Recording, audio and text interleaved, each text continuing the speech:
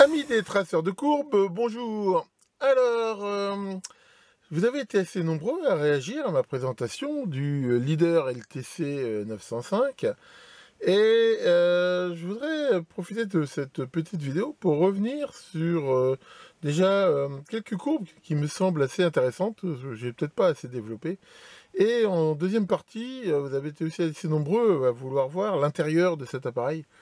Donc euh, je pense, a priori, ça se démontre facilement, qu'on pourra y jeter un coup d'œil. Alors, euh, qu'est-ce que je voulais vous montrer de courbes un petit peu plus euh, intéressantes et qui, à mon avis, permettent de peut-être mieux comprendre le fonctionnement de certains composants. Je rappelle qu'un traceur de courbe comme ça montre l'évolution du courant, cet axe-là, en fonction de l'évolution de la tension. D'ailleurs, là, j'ai mis un potentiomètre, et on voit ici très bien, c'est-à-dire que là, euh, mon potentiomètre est à zéro, c'est-à-dire c'est un court-circuit. Donc en fait, dès que la tension arrive, le courant augmente et n'est limité finalement que par l'appareil, dans la mesure où l'appareil ne peut pas fournir un courant infini. Hein. Rappelez-vous ce que je vous ai dit sur les résistances internes, il y a une sorte de résistance interne qui, limite ce courant, mais voilà. Et là, quand la résistance augmente, eh ben, on a bien ici cette pente. Et on voit que la pente est directement proportionnelle à la valeur de la résistance. Là, c'est un potentiomètre de 10K. Donc voilà, je veux dire, la valeur de la résistance détermine l'angle, en fait, ici, de cette pente.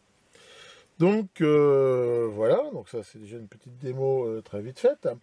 Alors, euh, si on remet ici un transistor, ce qu'on n'a pas trop vu, c'est qu'est-ce qui se passe quand on va commencer à dépasser les tensions max. Là, par exemple, c'est un 2N2218. On voit ici sa courbe comme l'autre fois, mais qu'est-ce qui se passe quand j'augmente ici la tension? Ben là, on va commencer à voir voilà, un phénomène qui est assez intéressant. On va même en voir deux qui sont, ma foi, assez intéressants. Juste que je limite un petit peu, euh, voilà.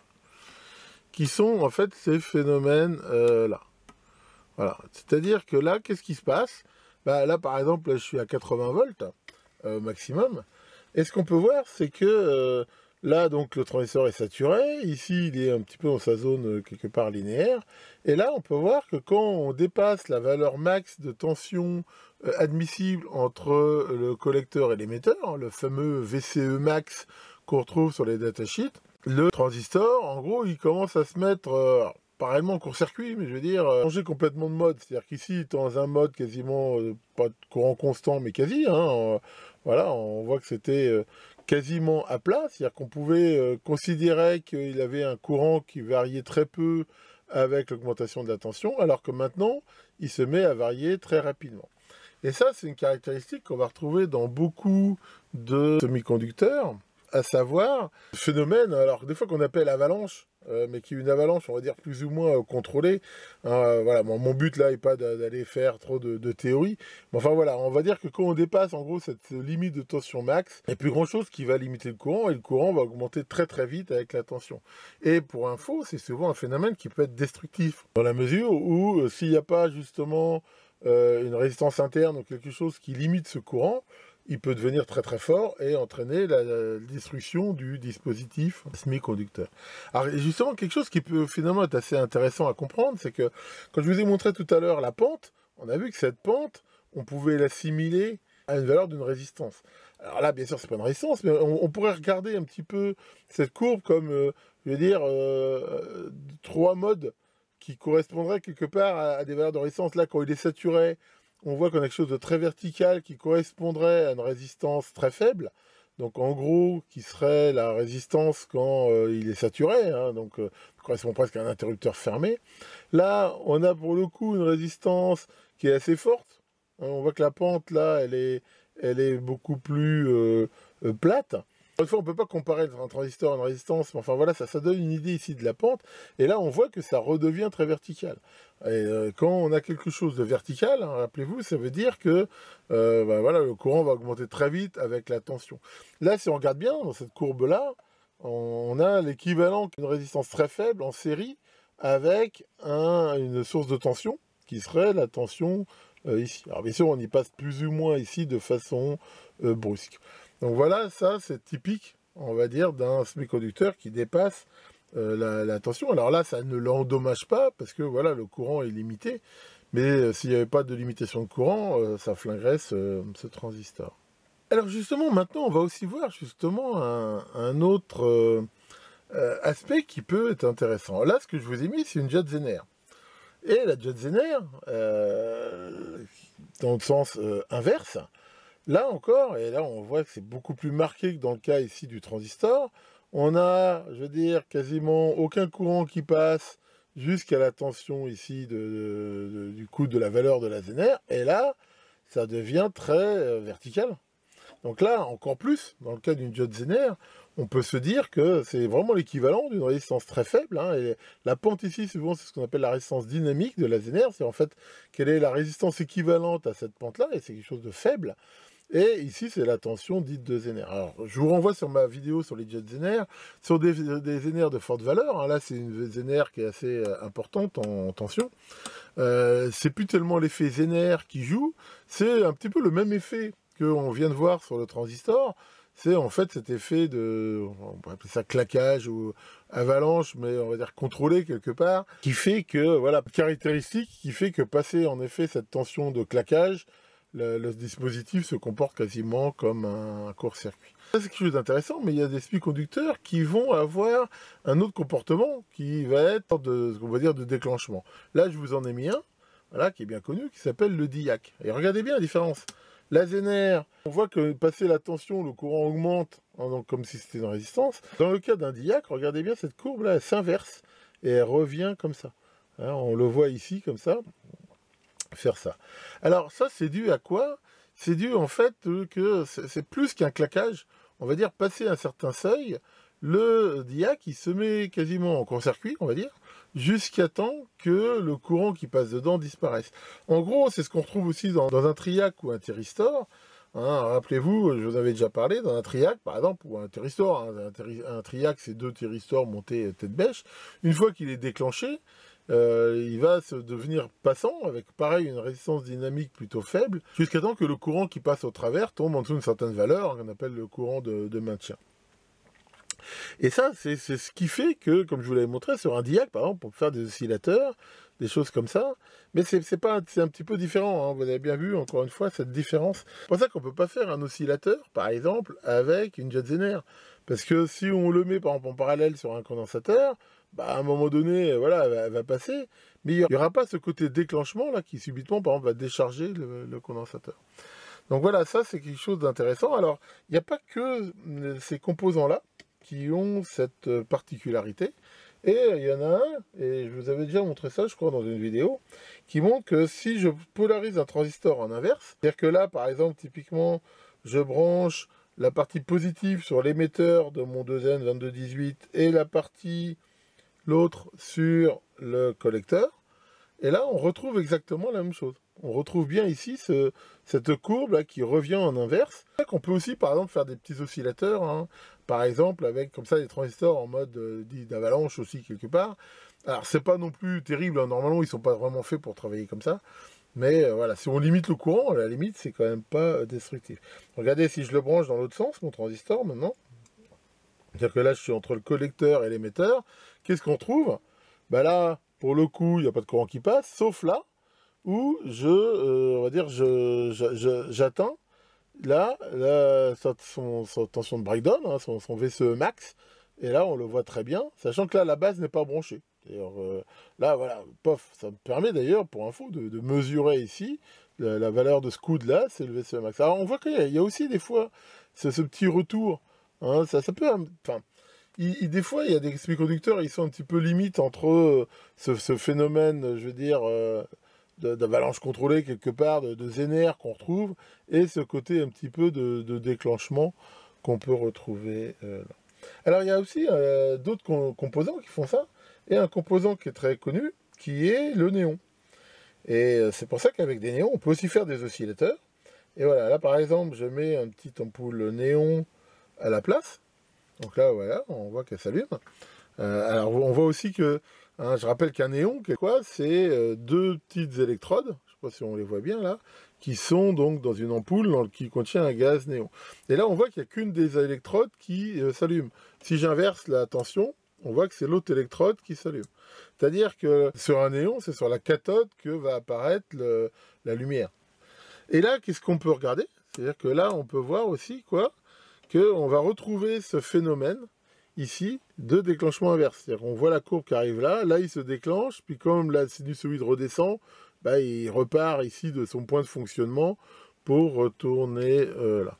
Et là pareil, on peut voir qu'il faut une certaine tension, qui est de l'ordre, ça dépend des aux alentours de 60, entre 60 et 90 volts, pour qu'il se déclenche. C'est-à-dire que là, on voit qu'il se comporte comme un isolant, et là, ça y est, il y a cette tension pour qu'il se euh, déclenche. C'est arrivé, hein, j'ai vu des montages où on déclenchait des triacs, par exemple, euh, avec des néons. Enfin voilà, c'est, on a bien ce, petit phénomène là de, retour. Et là, encore une fois, on a cette notion là, de, courant de maintien. Donc là, par exemple, sur un poste, ça se dure à l'arc, on l'allume, il n'y a rien qui se passe. Quand on va approcher la baguette très près du, bout de ferraille qui est mis à la masse, à un moment donné, alors là, bien sûr, la tension elle est très faible, donc il faut vraiment euh, quasiment le toucher.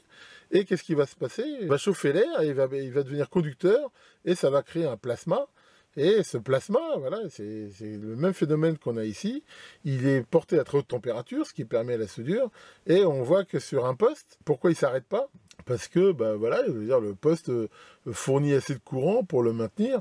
Et on voit que bah, soit on coupe le courant, soit on éloigne la baguette et le fait d'éloigner la baguette baisse le champ électrique et au bout d'un moment le plasma ne peut pas se maintenir. Mais voilà, c'est le même euh, principe ici, mais là voilà, dans un gaz qui fait que ça chauffe quasiment pas, ça, ça consomme relativement euh, peu de, courant, un, néon comme ça. Allez, pour finir avec les composants qui ont des courbes rigolotes, euh, là je vais vous montrer un composant que j'ai prévu de vous montrer plus en détail un jour dans une vidéo. C'est ce qu'on appelle une diode tunnel. Alors, une diode tunnel, c'est une diode qui exploite un effet quantique aussi, qui s'appelle l'effet tunnel, ou on appelle aussi des diodes, c'est diodes Ezaki, hein, du nom de, du gars qui a découvert ça. Et c'est des diodes, alors là, on voit, voit pas bien euh, sur la courbe, mais en gros, elles présentent un phénomène qui est très intéressant, c'est qu'à un moment donné, la, courbe, là, euh, on la voit pas bien, parce que ça merde un peu, mais je veux dire, la courbe s'inverse. C'est-à-dire qu'on a affaire à quelque chose qui, est très connu en électronique, qui s'appelle une résistance négative. On ne voit pas très bien, mais en, gros, la courbe fait ça, quoi. C'est-à-dire que là, on passe dans ce qu'on appelle une tension pic, après une tension de vallée, c'est comme ça qu'on a appelé ça sur ces diodes-là. Et euh, elles ont donc cette, courbe, hein. on a vu que normalement la courbe a toujours une pente dans ce sens-là, c'est-à-dire que le, courant augmente bien avec la tension, ce composant, à un moment, va présenter ce qu'on appelle une résistance négative. C'est-à-dire que quelque part, le courant va diminuer avec la tension, ce qui peut paraître un peu euh, bizarre. Mais c'est un phénomène qu'on utilise en différents euh, montages, par exemple les girateurs, les, les, choses comme ça, qui permettent de simuler des selfs, de faire des oscillateurs. Et euh, voilà, ça, c'est ces fameuses diodes de tunnel. Donc ça, c'est une diode que j'ai récupérée. on avait du, vieux stock, du vieux old stock soviétique. Euh, j'avais acheté tout un lot sur eBay là. Alors pour info, dans l'autre sens, une diode tunnel, c'est quasiment un court-circuit avec une résistance assez forte. Et on peut le voir là, si je l'inverse, voilà. On se retrouve comme ça avec euh, euh, ce, truc là. Donc voilà, donc j'ai fait longtemps que j'y pense. Je pense que je vous ferai un jour une petite démo et une vidéo plus sur la diode tunnel. Mais voilà, ça permet quand même de découvrir la, courbe de ce composant qui, à vrai dire, n'est plus tellement utilisé, mais qui, bah, je veux dire, a eu, son heure de gloire. Voilà, alors pour tous les curieux qui voulaient voir l'intérieur de ce vénérable appareil, et eh ben le voilà, euh, tout simplement. Donc ça se démonte assez facilement, il y a une vis derrière et quatre vis euh, devant.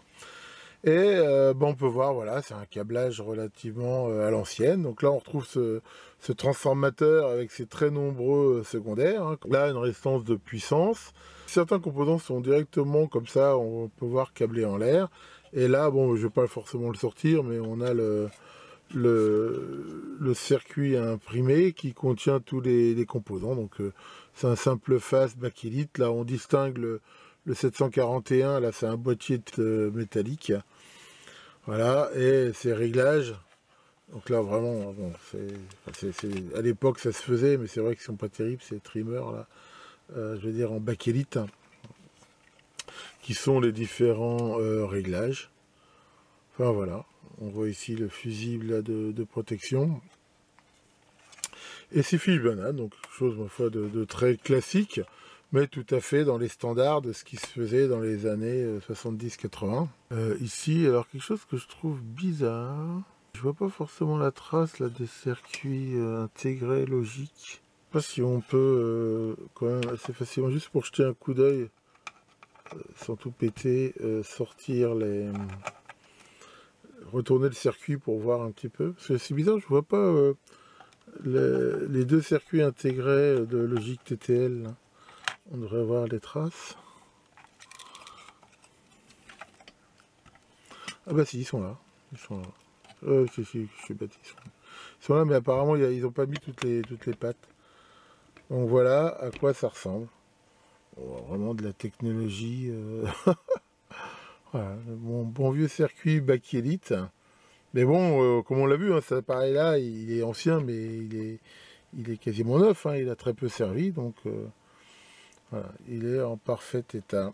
Là, pour cette vidéo, on va dire, qui vient en complément hein, de la présentation que je vous avais fait de ce traceur de courbe, nous montre que c'est un appareil qui peut vraiment donner des informations intéressantes sur les semi-conducteurs. En fait, ce qui manque à un tel appareil, c'est, on va dire, quelque part des curseurs. Et je réfléchis depuis longtemps à faire euh, une variante, en gros, où on pourrait déplacer un point, en fait, sur la courbe, par exemple une croix comme ça, et qui afficherait euh, sur un afficheur quelque part la tension et le courant. Et là, on pourrait vraiment, voilà, en déplaçant ce curseur sur les courbes, bah, voilà, mesurer avec précision le, le coût de la zénère, la tension max et ces genres de choses fabriqué un certain nombre de traceurs de courbes dans ma vie. Mais voilà, c'est pour moi ce qui manque vraiment c'est ça, et d'en avoir un quand même qui, si un jour j'en fais un, qui monte euh, aussi haut en tension, voire même plus, dans la mesure où c'est euh, voilà, intéressant de pouvoir faire des mesures, par exemple surtout sur des composants qui sont censés travailler sur des et découpages, des choses comme ça, qui montent relativement haut euh, en tension. Bon, voilà, après je sais pas quand j'aurai le temps de faire ça, parce que comme d'habitude, j'ai beaucoup plus de projets que de temps pour les réaliser. Enfin voilà, donc là, bah, un grand week-end Pascal, on est vraiment gâté par euh, la météo. J'ai encore plein de trucs à vous montrer, et en particulier un, appareil qui ressemble à celui-ci, enfin je veux dire physiquement. Hein, je rappelle que Philippe m'avait gentiment envoyé deux appareils leaders. Je vous montrerai donc l'autre euh, très prochainement. Tiens, monsieur Maurice, qu'est-ce qui t'arrive? Qu'est-ce que tu fais toi pendant ce grand week-end? T'as prévu de te faire un plan à 3 hmm. C'est quoi ton plan à 3 C'est ton lit, ton oreiller et toi? Ça, c'est un sacré plan, ça fait rêver. Zip Crash, le dieu de l'électronique, veille sur vos montages, et à très bientôt pour de nouvelles vidéos.